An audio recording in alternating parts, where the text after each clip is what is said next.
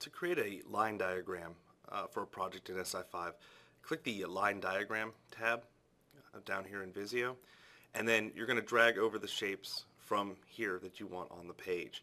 Uh, I'll start by dragging this amplifier over. So you can see that the product is selected. Uh, that's indicated by this little uh, black arrow over here. And I'm simply going to drag the product over to the page. And what will drop is a JPEG representation of the product.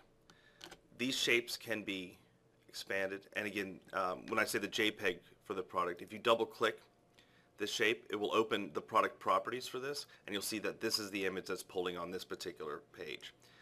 Now, if you don't have a JPEG associated uh, with your product, you're just going to get a box out here with this information in here, the manufacturer uh, name, the model number, and the component ID.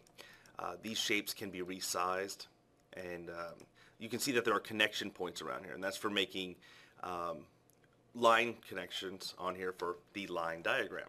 Uh, I'm going to go ahead and pull over um, a few speakers here. I've got this speaker selected. I'm going to hold control down and select this other speaker and then drag them both to the page and then drag them both to the page at the same time and then drag them both to the page at the same time.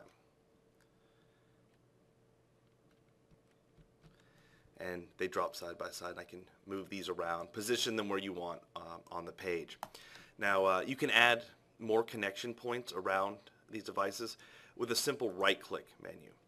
Right now it's uh, by default set to medium point, point spacing. I can set that to small point spacing and I'll get more connections around these.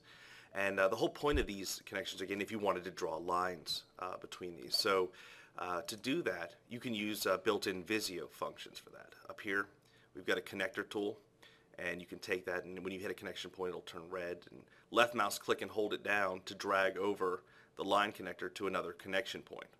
You can do that for uh, both of these devices here. Uh, you can make, be sure to go back here to your pointer tool and then you can manipulate these. You can move them wherever you want. You can also uh, use all the built-in Visio tools for these. If you want to change the color of the, uh, the line, you can use this uh, option here. You've got these options here for line weight, line pattern, and line ends.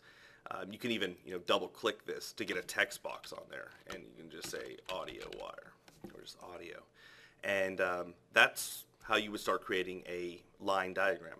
Uh, line diagrams are very nice uh, to use in the sales process. Um, and I'll show you a finished um, version of one of these right now. Pull up a sample project file here, and you can see how a uh, finished line diagram can look.